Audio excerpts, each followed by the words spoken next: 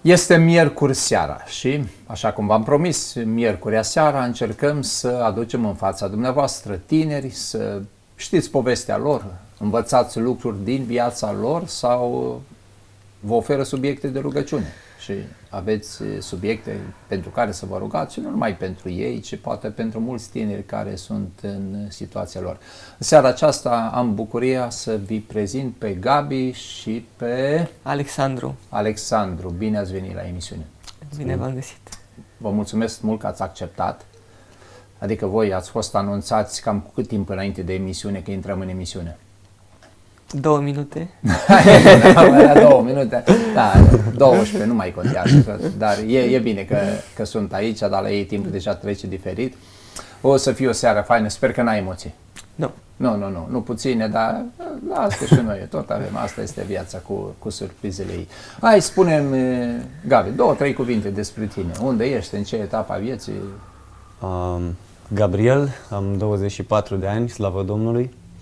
Um, M-am născut într-o familie de uh, creștini, bine, nu toți, dar uh, mama aia, mea, bunica mea a fost stâlpul credinței în, aici și uh, prin dânsa Dumnezeu ni s-a descoperit. A, era genul acela de bunică care te lua pe genunchi și îți, îți citea din uh, povestea mea pe timpul acela, povestea uh, întâmplarea mea favorită din scriptură cu Iosif și de câte ori auzeam, hai să citesc, hai să citesc și așa Dumnezeu... A, nu-ți plăcea neapărat vânzarea? Uh, nu. uh, dar uh, așa l-am cunoscut pe Domnul, da, de mic. Bun, uh, asta mama aia, nu știu ce, acum la 24 de ani ai o relație da, cu Domnul, da? Am o relație, slavit să fie ce Domnul. Ce faci? Înainte de căsătorie? Uh, Mă rog pentru asta, da, mă rog de foarte mult timp. Deci e... ești înainte, e clar. Înainte, da, da, înainte, da. da. Lucrezi, nu lucrezi? Lucrez, sunt um, în domeniul medical, sunt asistent medical. Fericit, bun. Hai să lăsăm și pe el să zică ceva așa, unde ești la ora actuală în viață. Ca apoi le luăm noi, așa, pe rând, le mai depănăm. batem. Am 25 de ani, în momentul de față sunt student. Mâine o să mă întorc la Colegiul Biblic Pacea, Uh, pe care l-am început uh, anul trecut, dar uh, Toate păcate, vremurile astea v-au dat un pic peste cap, da? Da. De un an și jumătate Domnul Iisus mi-a dorit o nouă viață pentru că eu reușisem să mă blochez foarte adânc undeva din cauza drogurilor și a, dar nu ți-ai propus să te blochezi, nu? Poftim? Nu ți-ai propus să te blochezi? Nu. A, eu am cerut ajutor de la Domnul pentru eliberare de toate aceste vicii, băutură și toată Tot ce duzina, vine la pachet, toată da? duzina. Uh, fără să știu ce se va întâmpla cu viața mea, fără să știu că Domnul Isus poate pur și simplu să-ți schimbe inima și să-ți schimbe cu totul principiile și concepțiile pe care le aveam despre viață. A, deci tu ai început direct, ești bine, dar cu câtva timp în urmă erai într-o groapă mare, da. deci tu ai crezut că vei ajunge pe vârful muntelui și vei fi cel mai tare. Bun, haide să te întreb și apoi vin la Gabi. Tu te-ai născut într-o familie creștină, cu principii creștine, noțiuni creștine? Uh, nu, aceste lucruri nu au existat în copilăria mea, uh, dar uh, părinții au avut uh, o educație deosebită pentru că până în clasa 10 am fost un elev model, tocilar. Uh, tatăl meu este militar de când eu m-am născut și în prezent este militar și... A dus un pic din militarie și acasă. Da, cu toată disciplina lui, uh, la 16 ani m-a scăpat de sub control. Uh, fără și-a dat seama că te-a scăpat? Și-a dat seama, dar... Chiar din prima fază sau mai târziu? Nu a putut să mă urmărească de aproape pentru că în momentul acela, de la 16 ani, el deja o părăsise neoficial pe mama mea și deja avea o altă relație. Eu de la 12 ani știam de acest lucru, dar mama mea afla la 18 ani, deci... Cum te-a afectat pe tine ca tânăr chestia asta? Uh, până să caut uh, să mă adaug la un grup, până am găsit un anturaj Uh, care pur și simplu m-a dus pe căi lăturalnice. Uh, tot timpul meu îl ocupam învățând și muncind Și nu aveam prea mult timp pentru viața aceasta lăuntrică, pentru că duceam o viață activă și toate celelalte lucruri, conflictele interioare, au început... Uh, Încercai să le negi sau nu-ți dădeai seama că există? Nu, nu-mi dădeam seama, nu-mi dădeam seama pentru că eram preocupat doar să văd cel mai bine, să fiu cel mai bun în clasă și pur și simplu nu mai aveam timp de alte lucruri. Dar în momentul de față uh, știu că și atunci duceam unele lupte, dar uh, nu erau de o intensitate mare. Pur și simplu mă descurcam singur cu ele, uh, dar când au venit prietenii, odată cu prietenii, odată cu tot felul de anturaje și tot felul de lucruri care mă agitau pentru că ieșisem din bârlogul meu, ieșisem din casa mea unde pur și simplu mă, mă ocupam doar de studiat și am văzut uh, ce înseamnă să fii într-un anturaj uh, care poate să-ți ofere toate plăcerile. Uh, în momentul în care ajungeam acasă și îmi părăseam anturajul, uh, am ajuns la concluzia că nu mai puteam să stau singur. Pentru că conflictele mele interioare atunci au izbucnit pur și simplu și nu mai găseam uh, liniștea în absolut nimic. Adică nici măcar timp de o oră nu mai puteam să stau singur. Trebuia să sun pe cineva, trebuia să merg undeva, trebuia să beau ceva, trebuia să fac alte lucruri ca să pur și simplu să nu stau acasă. Mi-era foarte greu să stau acasă. Dintr-un elev model ajunsesem să merg la ore, la liceu, să dorm pe ultima bancă, pur și simplu îmi puneam colegul să mă trezească dacă profesora mă vedea că dorm, pentru că uh, noaptea mea o petreceam cu băieții. Și așa a început uh, decăderea mea, la început totul a fost distractiv, dar pe măsură ce au trecut ani, lucrurile au evoluat. Și au evoluat, adică au devoluat, au, nu mai știm cum să zicem. Au evoluat uh, în sensul, în sensul negativ. negativ da Uh, astfel încât uh, am început să am uh, nopți grele, dormeam foarte greu, nu puteam să mă liniștesc și tot ce încercam să fac era ca eu să-mi găsesc o prietenă, o iubită cu care să-mi petrec timpul și să mă rup de anturaj. Hai să văd dacă ai găsit fata sau nu. Zi, Gabi, cum a fost la tine? În ce familie te-ai născut? Uh, așa cum am spus la început, bunica mea era credincioasă și a fost până în momentul când Dumnezeu a chemat-o acasă. Uh, mama, uh, la fel, credincioasă, tata nu și nu este nici acum. Uh, dar avem credință și credem că Domnul ne-a promis tu și toată casa ta. Și rămânem credincioși, promisiunii lui Dumnezeu ne rugăm și știm că Domnul va tot va aduce clipa, la bun eu vă doresc să vă aducă cât mai repede. Amin. Cât Amin. mai repede. Amin. Așa, deci, practic, ai avut tangență cu noțiune de Dumnezeu destul de devreme în viață. Da, de mic. De mic. Și uh, te-ai dus cam pe cursul ăsta sau ai mai avut și tu... Uh, nu, nu. Uh, consider că tot ceea ce s-a întâmplat în viața mea a fost, uh, spune că Dumnezeu a pregătit mai dinainte Așa. ca să umblăm prin ele. Și Uh, de mic a pus în mine o dorință de a-L urma. Și de mic am avut o teamă, m-am rugat și încă mă rog pentru teama pe care o cerea David, teama aceea sfântă, mm. teama aceea plină de dragoste. Și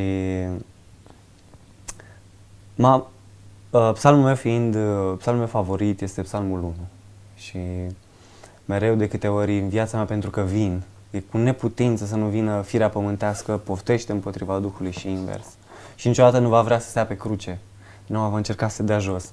Și ferice de cei care se duc la... Deci tu ești cu ferice de cel ce nu. Alții sunt cu ferice de cel ce da, tu ferice de cel ce nu, uh, nu, la anumite aspecte. Da, am vrut să-l... Hai să spun o chestie Spuneți. acum, asta e gravă, știi, dar eu vă mai ridic la fileu, voi dacă vreți să răspundeți sau nu. Spune-mi când îl auzi pe Alexandru, că povestește pre unde a trecut el așa așa la prima impresie, ți-ar veni să-l condamni un pic, să zici, uite mă ce-a făcut ăsta? Nu, pentru că În familia mea mai am o soră geamănă și un frate mai mare, iar fratele meu a fost uh, ca el. Deci am crescut și cu... Deci știi un pic. uh, Exact, exact. Da. Și ai văzut la ei așa și zbateri, că uneori nu-și doresc să fie acolo și totuși sunt acolo frământări? Uh, fratele meu cunoscându-l este o diferență între ei. Fratele meu cunoscându-l pe Dumnezeu de mic, ca și mine, uh, a plecat, a ales să plece acolo cu cunoștința aceasta despre Dumnezeu. Alex nu-l cunoștea pe Dumnezeu când... uh, Da, el teoretic are o scuză, nu? Dar, nu pot să zic. sau că- o scuză în plus, nu? Ce să Uh, zic. nu știu cum să spun aici, dar uh, uh, Biblia spune să nu judecăm. Corect. Da? Și să-l privești chiar și pe el cum a, era atunci, să-l privești mai presus decât pe tine și atunci vei împlini dragostea. Da, sau să-l privești ca pe o persoană pentru care a murit Isus Hristos. Exact, Și exact. atunci se schimbă situația. Da. No, cum, ai găsit fata sau nu ai găsit fata? Ți-am lăsat timp de să o găsești. Uh, nu, ideea să-mi găsesc o parteneră de viață a eșuat de mai multe ori pentru că chiar dacă găseam acea persoană, uh, fetele mă părăseau pentru că eu nu renunțeam la plăcerile mele. Și oricât de mult m-am străduit eu și adică uh, apăreau destule fete la petreceri, la festivaluri, dar uh, nu ieșea nimic serios pentru că acum îmi dau seama că Dumnezeu nu poate binecuvânta o viață trăită ca o distracție și trăită după cum bate vântul, pentru că atunci pur și simplu era- eram indiferent față de tot ceea ce se întâmplă în jurul meu. Uh, Nu am fost niciodată violent uh, sau să vorbesc urât chestii din astea, nu. Pur și simplu eu aveam concepția că am o viață și la mine totul se limita la a mă distra. Uh, Acum, aici. da, da. în fie, de fiecare Și n-ai dată... pregăsit fată care să se Nu. limiteze la asta. Nu, nu. Adică erau destule doar uh, pe anotimpuri, așa, o vară, apoi venea toamna, venea altă fată, dar uh, nu. Uh, pentru că întotdeauna când uh, eu uh, o luam pe latura asta și mă amețeam sau beam ceva, deveneam foarte melancolic și se vedeau rănile pe care le aveam din copilăria mea și se vedea nevoia asta de a primi iubire din partea cuiva. Doar că eu căutam iubirea asta, găseam o fată, primeam o iubire, dar nu era iubirea aceea pe care eu o căutam. Și, Și nici nu prea aveai trebuia să ce o- mai aduc ceva apor și de acolo de la mine, din partea mea. Bine, nici tu nu cred că ofereai cu găleata celuilalt. Nu, nu. Eu doar îmi căutam foloasele mele, doar căutam companie și doar căutam plăcere, să fiu sincer. Uh, nu știam ce înseamnă cu adevărat uh, dragostea. Adică pur și simplu să iubești pe cineva, doar fără să aștepți ceva în schimb. Bun, uh, Gabi, după cum ne spui tu, copilul ăla bun care a ales calea cea bună, pentru tine pocăința a fost chiar ușoară, nu? Nu. Stai că acum ne încurci filmul, deci ori te duci pe un film din ăsta fain, ia zi Uh, nu. Viața trăită cu Domnul, după cum știm, nu este ușoară. Da? Uh, cum am spus, avem în noi firea aceasta pământească care îl urăște pe creștin din toată inima ei, în ghilimele, așa ca să spun. Și, Principiile creștine, viața Exact. și... și va fi greu da? să te lepezi de ține, să-i cruce, să-l urmezi în fiecare zi. Care a fost pentru tine cel mai greu lucru când te-ai gândit la pocăință? Domne, vreau să mă pocăiesc, să urmez pe Domnul. Care a fost pentru tine cel mai greu lucru? Um, nu știu dacă a fost ceva greu, pentru că, um, d- cum am spus la început de mic, am avut dorința de a-L urma pe Hristos. Dar și asta nu a fost, uh, da, pe parcurs crescând, cu ceea ce oferă așa um, tabloul ăsta oarecum plăcut al um, al vieții, da, de afară cea fără Domnul și care fir îi, îi place, mă atrăgea. Da? Și um, e o luptă, da? e o luptă să poți să zici un nu hotărât, pentru că au fost clipe în viața mea și sunt când uh, da apare mai interesant le, decât nu. Exact, le, le aduce atât de dulce diavolul și le strecoară și le, le dă o imagine așa încât să te creadă că va ieși bine, dar la urmă vezi te că asigură, duc la moarte. Da, da, da, chiar te asigură că va ieși bine. Da, și... da, da.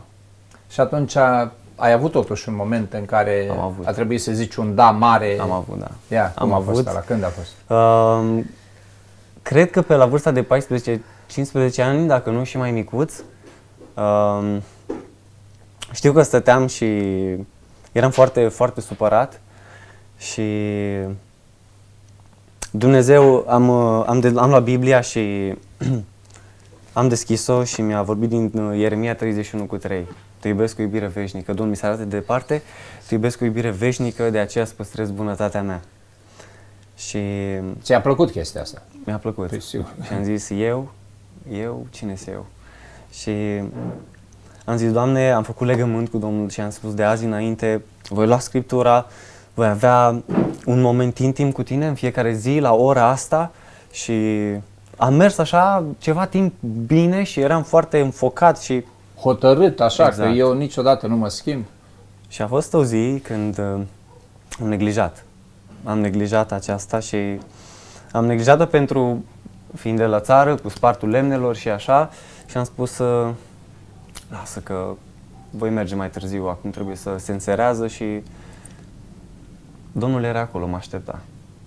Am făcut să mă aștepte și când am mers să sparg lemnele, uh, când a ridicat barosul să dau în pana aceea, a zburat din pana aceea, a sărit un șpan de metal în, uh, în picior și am simțit așa uh, in, foarte amețit pe moment și nu știam ce s-a întâmplat, am crezut că a picat ceva din cer în capul meu, nu știam ce să... amețeam și totul devenea negru și privirea mi s-a dus în jos și am văzut cum uh, curgea sângele și mi- țin minte, am băgat degetul în...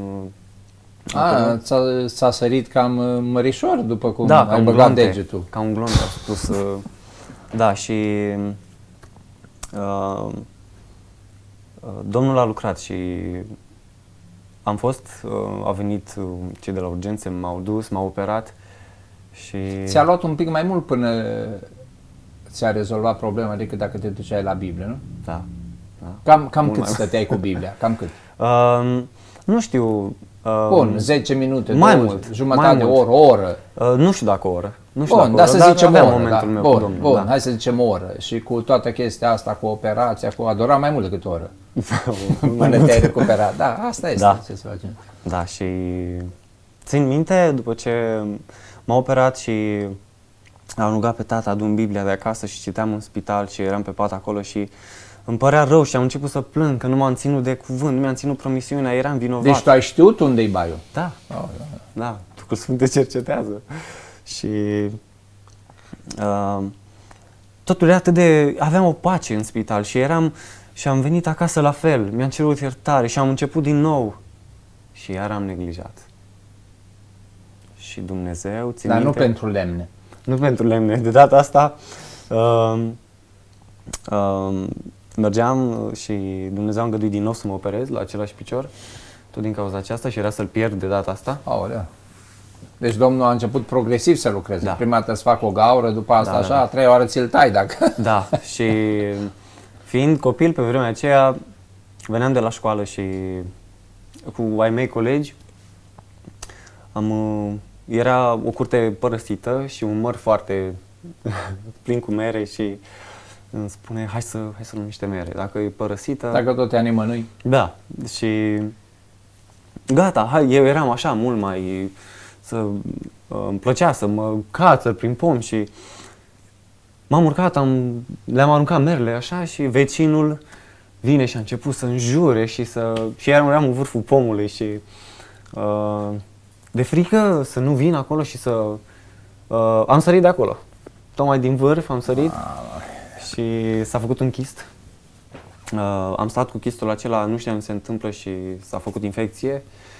Și am ajuns din nou la spital și acolo chiar am zis, Doamne, îmi pare atât de rău și uh, și de atunci, atât cât am putut, atât, nu pot să spun că în fiecare zi, n-am făcut-o în fiecare zi, nu la ora aceea, dar uh, Ai încercat să te ții de... Dumnezeu este, are un proces. și îngăduie. Uh, în viața noastră, exact cum îl avea pe David, om după inima lui Dumnezeu în Scriptură și l-a lăsat să fie îngăduit, da? l-a lăsat să treacă prin niște momente foarte grele ca să ne fie un exemplu. Da, și...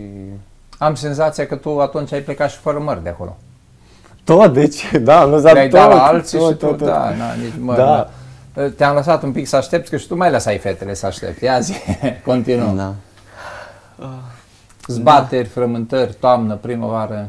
Și tot mersul ăsta al meu, pe care recunosc că aveam unele momente în care mă întrebam de ce nu se întâmplă ceva rău cu mine, de ce nu fac vreun accident, de ce nu mi se întâmplă ceva rău, pentru că eram complet inconștient de ceea ce făceam și nu am avut chiar nicio problemă, nici cu Deci ți, ți, poliția, s-a, nici pă, cu... ți s-a părut normal să vină un rău, nu? Da, mi Adică se- chiar, chiar mă gândeam, măi, alți prieteni de-ai mei, ia uite ce, câte lucruri rele pățesc și eu parcă sunt păzit și nu mi se întâmplă nimic. Uh, dar uh, lucrul ăsta a continuat până la un moment dat în care eu am ajuns la școala de asistenți medicali, unde l-am întâlnit pe, pe Gabriel.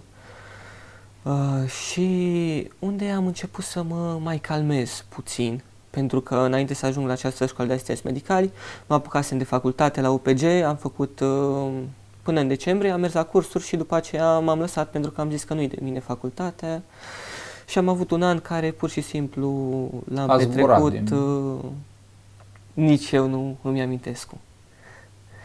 Pentru că S-a șters din viață. veneam acasă doar să mănânc și doar să mă schimb și atât. Ai mei nici nu mai mă cunoșteau și umblam cu o pereche de tenis în picioare uh, din primăvară până în toamnă și chiar și eu mă miram, uite cum am ajuns, dar uh, las că merge așa, că am altele de făcut. în momentul în care am ajuns la școala de asistenți medicali, în primul an am uh, și găsit o fată. Dar, din păcate, fata asta uh, era mai, uh, mai prinsă de vicii decât mine. Și toate lucrurile au mers până când uh, eu am rămas fără loc de muncă și fără mașină și apoi am rămas și fără ea. Uh, și țin minte, mi-a fost atât de greu, într-o iarnă nu mai aveam mașină, veneam la nici muncă, nici bani, uh, îmi luam țigări la bucată, uh, de-abia aveam bani să ajung. La... Cum țigară? Îți vindeau țigare sau așa? Da, da, da. De-abia ajungeam la școala de asistenți medicali pentru că tatăl meu, de când am renunțat la facultate, a spus că nu mai îmi dă niciun ban și n-am mai primit niciun ban de la el de atunci. Și știam că trebuie să merg în continuare la Bine, școală. nici nu poți să-l acuzi. Decât dacă tu îi făceai varză toții, ce să facă taică tu? Uh, da.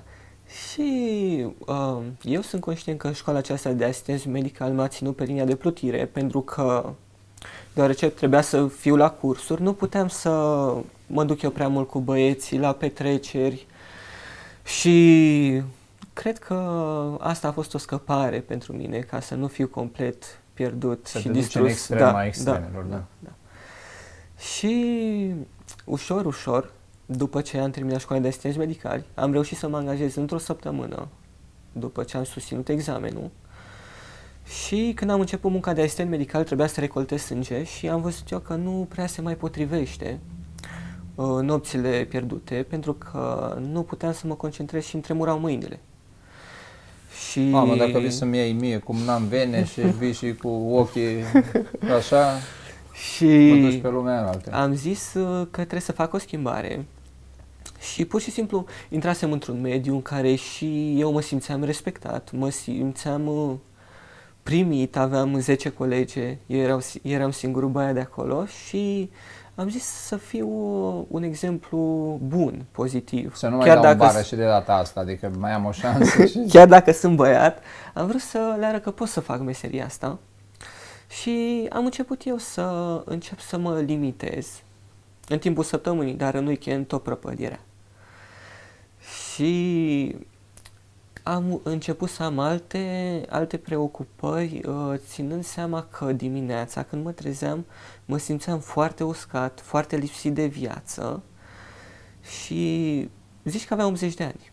Și eu mă gândeam, ce trebuie să schimb ceva la viața mea. Uite, am un loc de muncă stabil acum, uh, nu trebuie să plec pe nu știu unde, să fac tot felul de lucruri, pot să merg la muncă, pentru că la început uh, era senzația asta să mă descurc cât mai bine, cât mai bine, cât mai bine. Era, uh, cum să zic eu, mă simțeam uh, foarte atras de ceea ce făceam la clinică.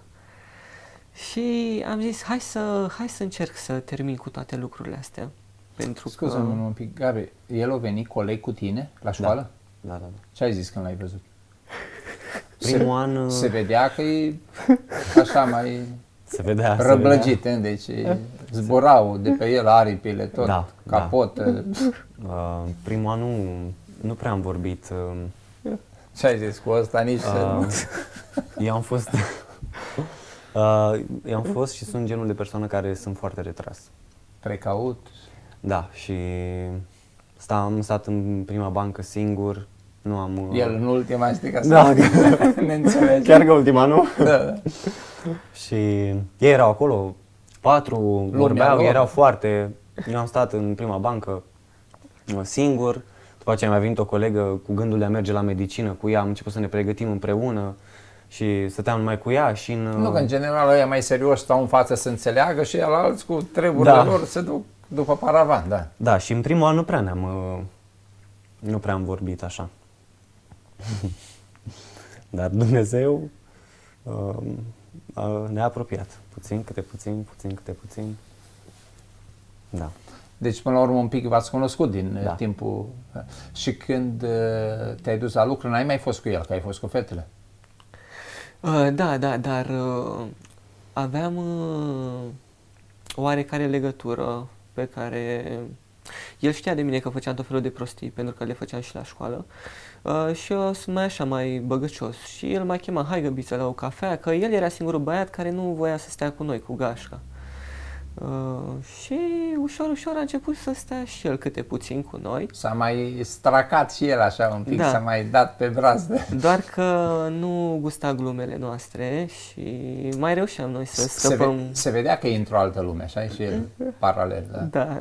Mai scăpam noi câte o glumă proastă, dar apoi ne mai rugam de el, hai, de iartă-ne, hai cu noi, hai cu noi. Și până la urmă eu am început să-l vizitez pe el.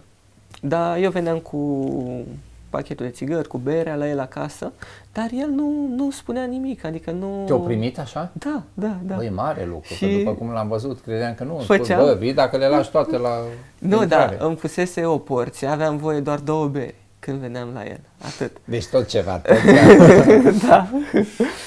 da. și el spunea seara, uh, cu mama lui, îl lăudau pe Domnul. Și eu când auzeam că noi mergem să lăudăm pe Domnul și eu nu știam ce se întâmplă, Păi nu, că pe bun, el și acum are un limbaj din ăsta mai specific. Ai văzut că el da. tot ne dă cu firea pământească, cu asta. Că, dacă nu știi ceva, habar n-ai ce fire are el, ce legături, da? Și eu preferam să rămân afară cât timp ei făceau lucrul ăsta. Mai intram și eu, dar nu, cum să zic Afară eu, din casă sau afară da, din cameră? Da, afară, afară din casă. Stăteam, mai îmi sunam băieții, mai vedeam ce se întâmplă. Voi stăteați la casă, nu la loc? Da. La casă, ah. la casă. Deci tu mai ieșai prin curte, nu da. știu ce, că iau treaba lor cu Domnul. Da, mai intram și eu, dar uh, nu mă atrăgeau deloc uh, lucrurile astea, adică mă gândeam că nu au ce impact să aibă lucrurile astea asupra mea, ce pot eu să obțin de aici? Și eu tot cu ale mele rămâneam, dar uh, ușor, ușor, uh, în stagiul de practică, când mergeam uh, și făceam practică în spitale, eu le-am văzut pe el că este responsabil și serios, ceea ce le lipsea celorlalți prietenii mei. Și am început să, să mă atașez mai mult de el, pentru că și eu voiam să o rup cu, cu toate lucrurile astea și să fiu și eu un băiat mai responsabil. Pentru că treceau ani, treceau ani, de cât timp eram prins în anturajul ăsta, adică de la 16 ani până la 23 de ani, 7 ani de zile, mi-au ajuns. Adică am făcut în ăștia 7 ani de zile și prietenii, foștii mei prieteni cu care mai mă întâlnesc acum, ei mai zic, bă, mai lasă-ne câțiva ani să facem ce ai făcut tu și apoi te ascultăm despre Domnul Iisus Hristos și cum să venim și noi la credință. Dar mai lasă-ne să facem și noi ce ai făcut tu. Și eu cred că toată prietenia asta mea cu Gabriel m-a influențat uh, nu în mod conștient, ci în mod inconștient, pentru că eu ajunsesem într-un punct în care eram disperat, pentru că voiam să scap de toate lanțurile astea și nu reușeam, și nu reușeam. Și eu știu că el, când îl lăuda pe Domnul, se și rugau și făceau lucruri din astea și asta mi-a rămas mie impregnat. Și când am văzut eu că sunt disperat și ce încercam eu să fac, cât de mult mă zbăteam și mă străduiam, trebuia să se întâmple ceva, trebuia să vină un prieten să-mi bată noaptea în geam, hai frate, ieși pe afară. Și problema la mine asta era că atunci când am vrut să stau departe de probleme, nu puteam să refuz. Eu nu mai căutam prietenie, dar veneau ei după mine. Și chiar atunci când voiam să rup, atunci suna telefonul și veneau după mine. Și am început să mă rog la mine în cameră, fără să întreabă cu nicio persoană religioasă, credincioasă, mm. Preoți sau biserici sau mănăstiri sau lucruri din astea. Nu, pur și simplu mă puneam pe genunchi la mine în cameră pentru că eram complet disperat și eram fără pic de resurse sufletești. Pur și simplu îmi puneam întrebări. Ce se întâmplă cu viața mea? Doar să merg la muncă, să merg acasă, să dorm. Asta e viața mea. Că celelalte nu, nu mai voiam să gust plăcerile. Cluburi și lucruri din astea. Bun, nu ți uita ideea că nu, nu mai rezist. Spune-mi, Gabi, tu copil moral, pocăit cu tare, cum ți-a trecut prin cap totul să-l primești pe la tine? I-ai dat voie și cu două beri. da, ai făcut în Și cu două țigări cât i dat, da, da. Um... Ce-a fost în mintea ta? Că puteai să spui, lasă bă, prăpăditul ăsta nu iese în viață de acolo, mânc eu zilele și sufletul cu el mă strică și pe mine. David spune așa. El iar nu e acolo, a, e de ea, da, zi. Dumnezeu este Cel ce cercetează pe om. Corect. Dumnezeu este Cel ce pune în gândul, în inima omului gândul. Și consider că nu eu am spus da, nu eu m-am apropiat de El. Toată a fost lucrarea lui Dumnezeu și da, nu eu, nimic, nici eu, nici chiar dacă făceam părtășia cu mama și el era sau uh, Uh, dumneavoastră mă întrebați de fapt cum de l-am primit prima dată. Știind... Da, da, da. Adică trebuie ceva să se întâmple la rotițele tale, că în mod normal, cum te văd și cum te știu, ți-ar fi fost mult mai natural să spui, pă, el e dintr-o altă lume, e pierdut, dacă vrea Dumnezeu să aibă milă de el, să aibă milă, nu știu eu dacă îi dau vreo șansă sau nu, de eu nu mă încur, nu-mi stric imaginea și cu tare, deci ceva s-a întâmplat atipic la tine. Eu mă rugam pentru el din școală. Da? și l-am văzut un băiat care... Pe de o parte vedeai care are potențial. Știind cum e fratele meu, um, Ți-ai fi dorit cineva să dea o șansă lui frate Um, o va avea. O va avea. Spune că Dumnezeu cercetează și își mai aduce aminte încă o dată. Amin. Încă o dată. Amin. Și la momentul potrivit de Dumnezeu, nu știm circumstanțele, dar îl va aduce. Uh,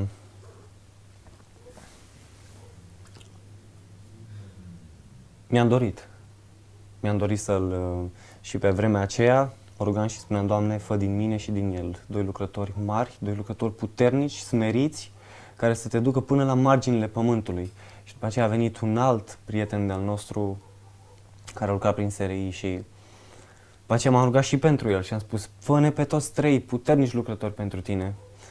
Și... Deci tu nu-ți doreai numai mântuirea lui, tu ai vrut mai departe, să da. fie și un slujitor al Domnului. și... Mamă, ce idee are asta. e bun, e bun. Uh, și Dumnezeu a deschis poarta să-l primesc. Uh, nu eu. Zi ce a zis maică ta în toată chestia asta. Uh, mama și cu tata întotdeauna m-au privit ca pe bărbatul casei. Și deși uh, Dumnezeu a pus în viața mea responsabilitate de mic uh-huh. și trebuie să muncesc de mic și... Uh, Ți-a zis cineva că ai mai fost o dată bătrân? Nu, pentru prima dată. și tata m-a lăsat să iau fiecare decizie. Au avut încredere în mine. Chiar și deciziile pentru a construi ceva sau uh, picau pe mine. De, de la ce vârstă? De la 14 ani am început să lucrez pe la sobe de teracotă. Uh-huh.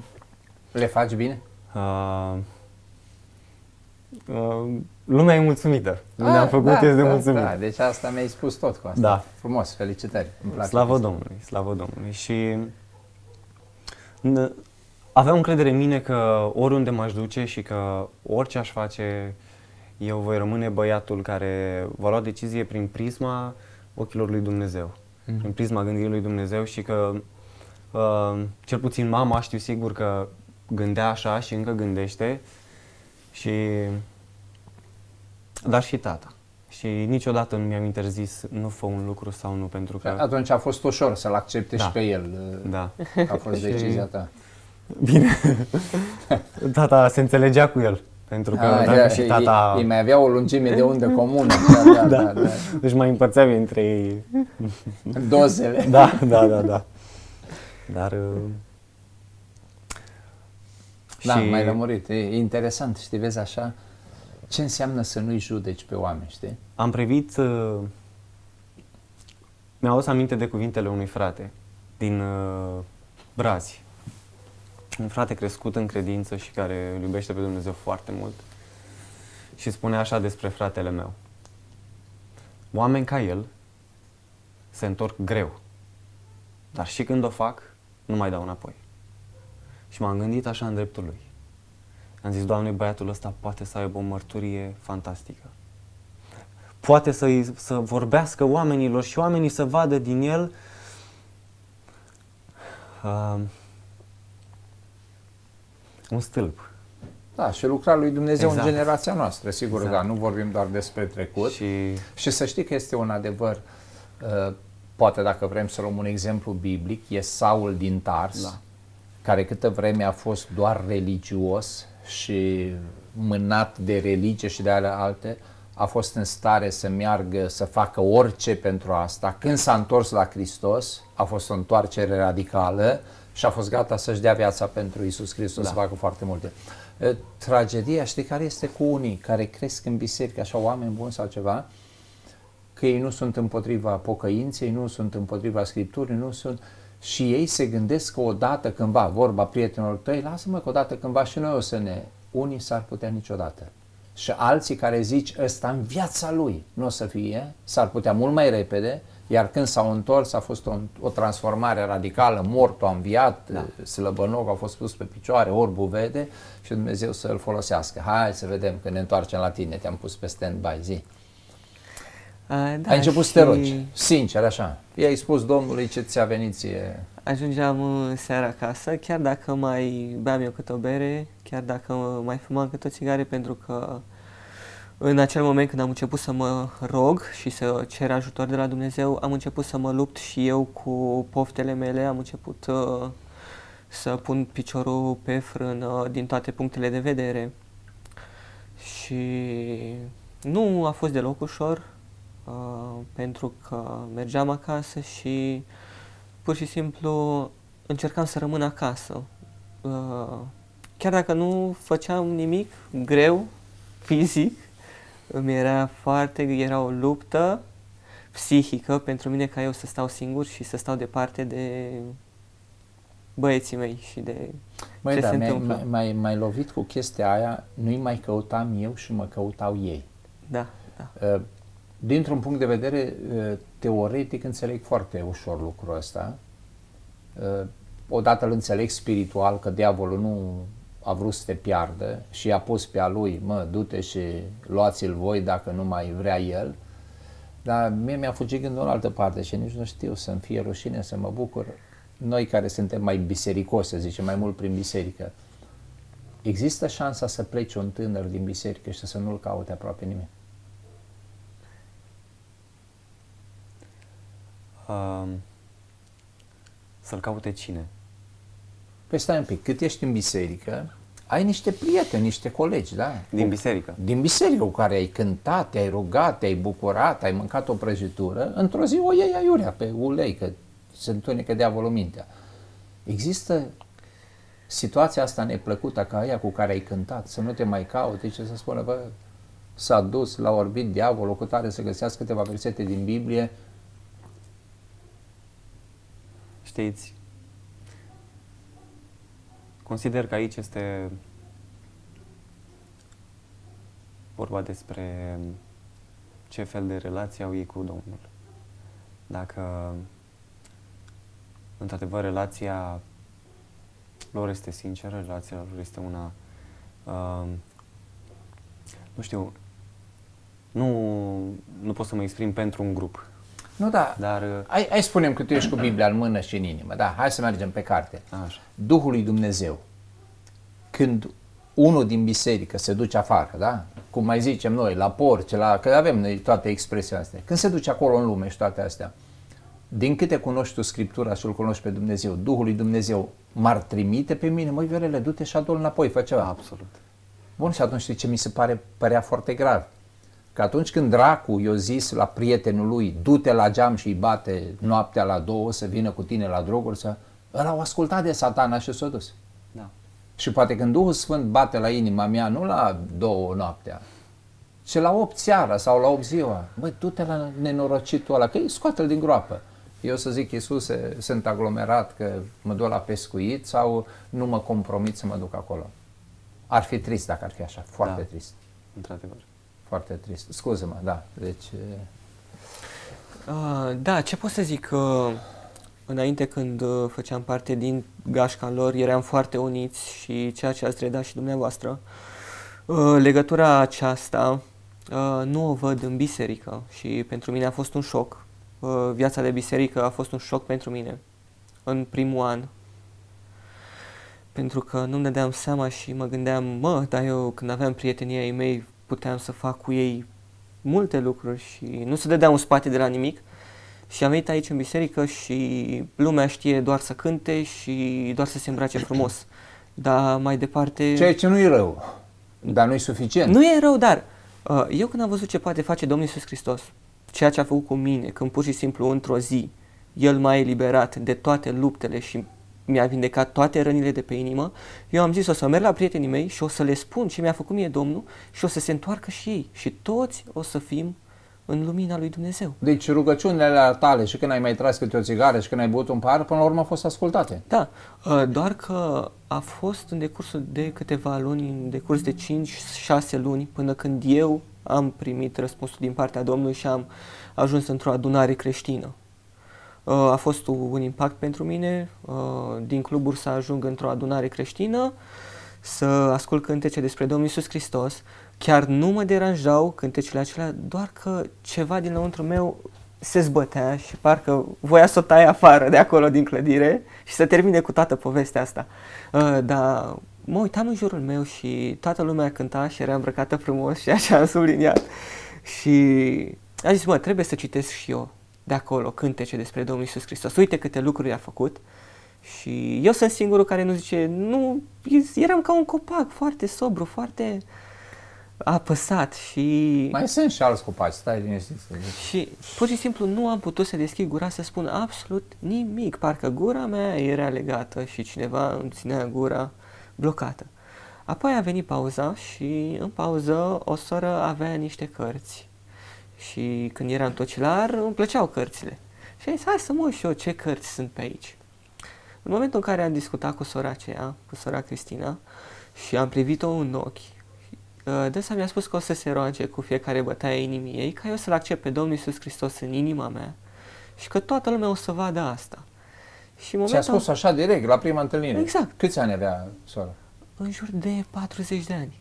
A, deci nu a vrut să se mărite cu tine, să, nu era o fată Și- care a pus și ochii pe tine. da, în momentul acela, când am privit-o în ochi, am, am văzut o sclipire care pur și simplu m-a marcat și îmi puneam tot felul de întrebări. Ce se întâmplă cu ochii? ei? Ce e lumina asta? Cum adică toată lumea o să vadă dacă eu o să fiu credincios? Ce, ce înseamnă lucrurile astea? Și apoi l-am întâlnit pe el și am zis, Găbiță, am văzut o lumină în ochii ei, am văzut o lumină în ochii ei. Și el a avut o atitudine din asta, o fi zis, săracul... Tu chiar ai fost marcat de chestia Da, asta. da, da. Și- Dar el a zis că, băi, i s-a întâmplat ceva lui ăsta, gata. S-a terminat cu el, a văzut lumini, gata. Da, da, da, Da. deci el săracul se ruga Da, pentru da, tine, dar nu el- aștepta chiar așa, știi? Da. Și acum când Domnul începe să-i asculte rugăciunile, el, el avea lumină și el avea întuneric, da. Și în momentul în care eu m-am întors acolo la locul meu și au început din nou cântările, am putut să deschid gura să cânt și în momentul în care eu cântam, pur și simplu simțeam că inima mea prinde din nou viață. Când s-a terminat adunarea și am plecat de acolo, eram alt om. Pur și simplu, viața care era în mine dădea pe afară și eram bucuros și alergam și săream, știți că eram un copil. Și timp La de... tine chiar a fost naștere din nou. Da, și da, timp, da, da. timp de două săptămâni, când mă trezeam dimineața, mă trezeam râzând. Râzând mă trezeam și mă uitam la răsăritul soarelui și mă gândeam cum poate să facă Dumnezeu așa ceva. Cum Domnul Iisus Hristos, care a trăit acum 2000 și ceva de ani, El are puterea ca să mă transforme pe mine dintr-un rebel într-un închinător al Lui și să facă tot ceea ce a făcut. Adică pur și simplu să-mi dea o inimă nouă și tot ceea ce mi s-a întâmplat mie și toate rănile pe care și eu le-am provocat prin păcat, să mi le vindece fără ca eu să fac nimic.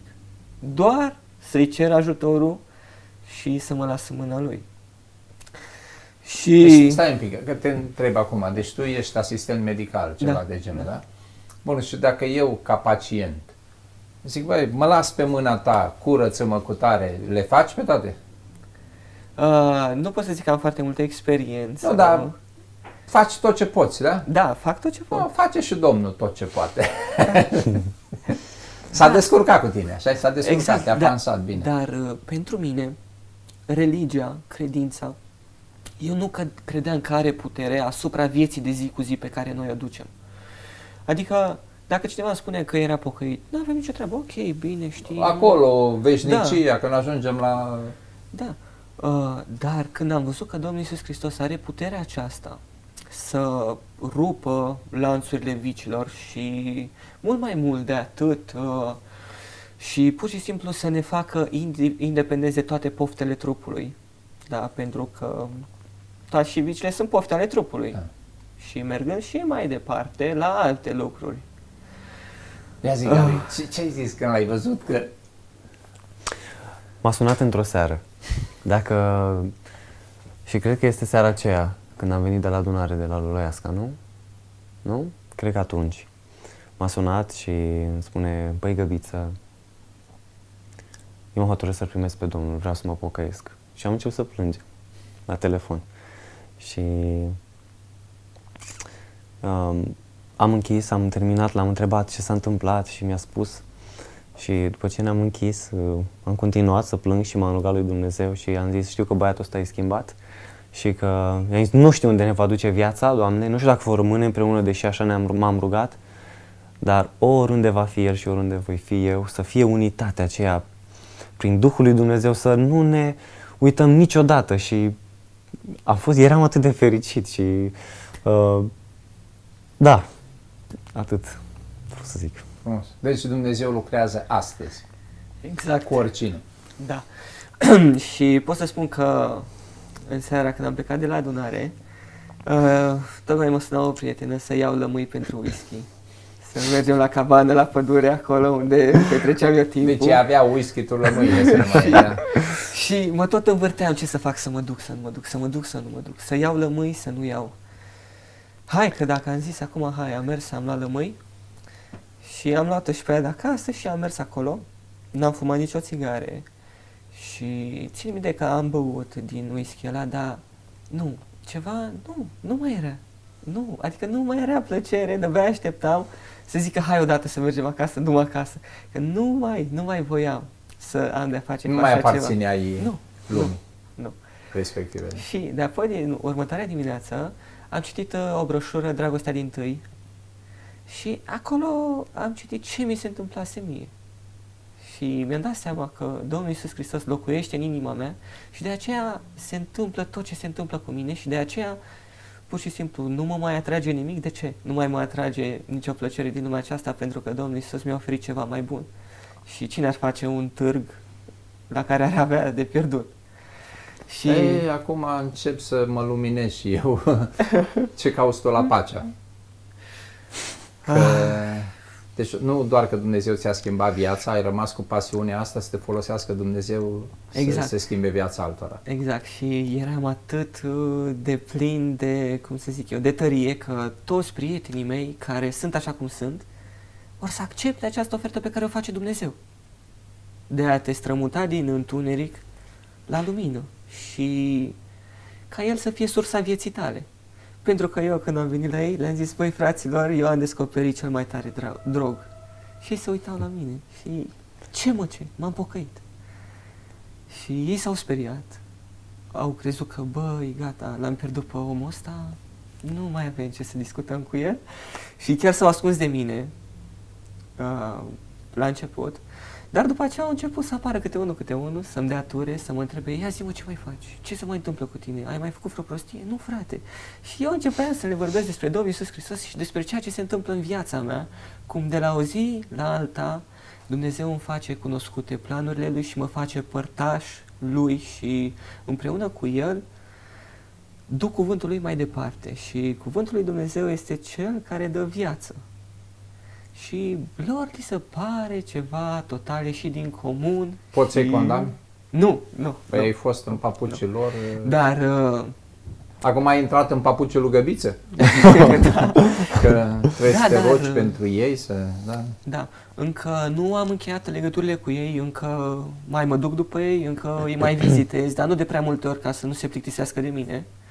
Și ei chiar se bucură când mai mă văd așa câteodată la o lună, două, mai ne luăm în brațe, dar uh, 5-10 minute pentru că după aceea ei nu sunt dispuși să mă asculte pe mine și eu dacă îi ascult pe ei uh, mă obosesc foarte tare. Și... Dar e, e un gest foarte frumos din partea ta că încă îi cauți, le arăți că nu i-ai uitat, că îți pasă de ei și uh, fii convins că ei știu pentru ce te duci acolo. Da. Ei știu că acum nu te duci să fii ca ei și ai vrea ca ei să fie ca tine și uh, întrebarea mea, dacă ai renunțat tu la ei, cine să-i caute? Da, și chiar, uh, chiar unul dintre ei a făcut pasul acesta către Domnul Isus uh, și el a fost născut din nou, adică a fost transformat ca și mine și Gabriel îl cunoaște, doar că el uh, are o poveste tristă în momentul de față. Am mers cu el la colegiu, la Pacea, la Sibiu, am hotărât să lăsăm totul, ne-am agățat uh, hainele de muncă în cuier și am zis hai să mergem să luptăm pentru Domnul Isus Hristos așa cum El ne-a scos pe noi din uh, locurile unde eram, hai să căutăm și noi pe alții care chiar caută Au o scăpare. Nevoie. Da. Și pentru el la fel, uh, viața de biserică a fost un impact. Și pentru mine la fel, nu pot să zic doar că eu am rezistat uh, puțin mai bine decât el, pentru că el a spus, mă, eu nu văd nimic, da, noi doi îl cunoaștem pe Domnul Isus Hristos, da, și noi suntem dispuși să facem unele lucruri pentru el, dar oamenii aceștia din biserică, ce se întâmplă cu ei?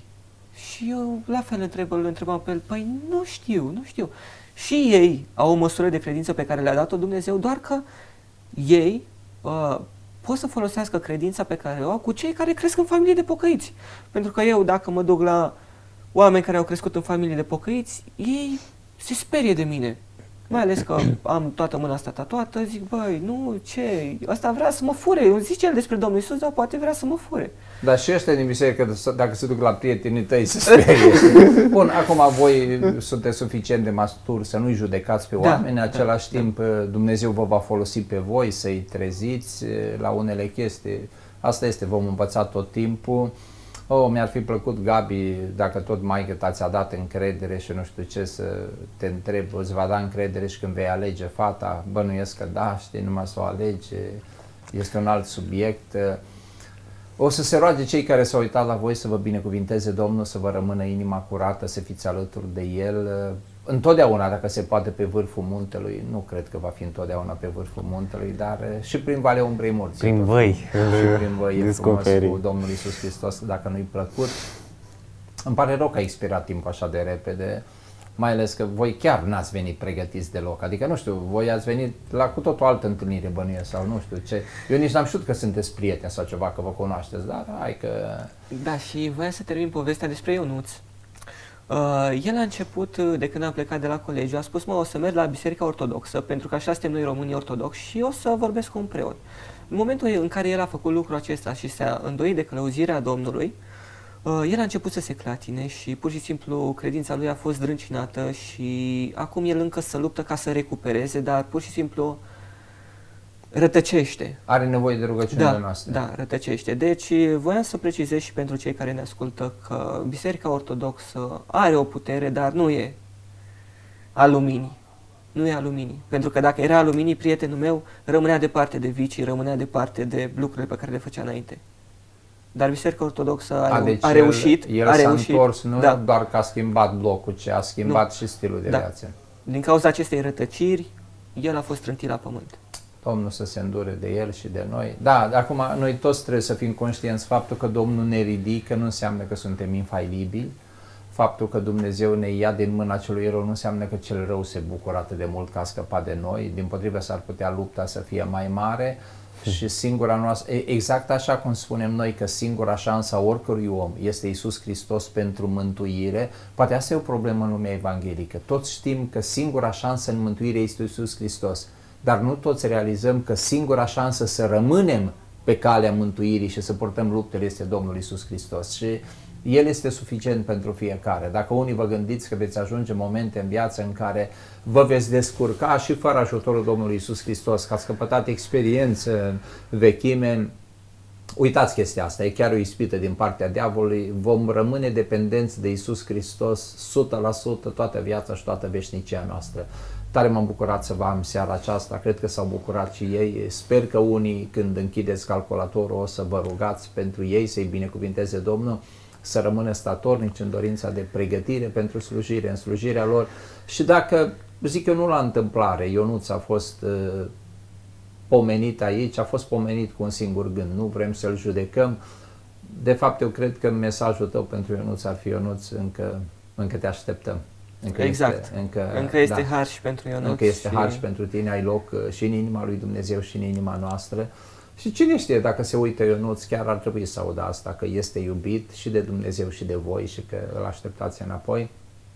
Și dacă știți, băieți din ăștia și fete, da, acum am discutat cu băiețele, din ăștia care în, în, în mintea voastră ziceți că n-au nicio șansă, uh, schimbați-vă gândirea și spuneți, uh, singura lor șansă este Isus Hristos, hai să fac ceva să-i ajut să-L cunoască pe Domnul Isus Hristos. Nu trebuie să-i schimbați voi, oricum nu-i veți schimba niciodată, iar uh, chestia asta, nu știu să o zic, să nu o zic, așa că ai zis tu că într-o vreme tu erai ca lemn, nu în biserică, știi? Da. Uh, Poate mai suntem și noi în biserică, unii mai înțepeniți așa, poate vorbim cu Domnul Isus Hristos și ne schimbă un pic și ne face mai maleabili.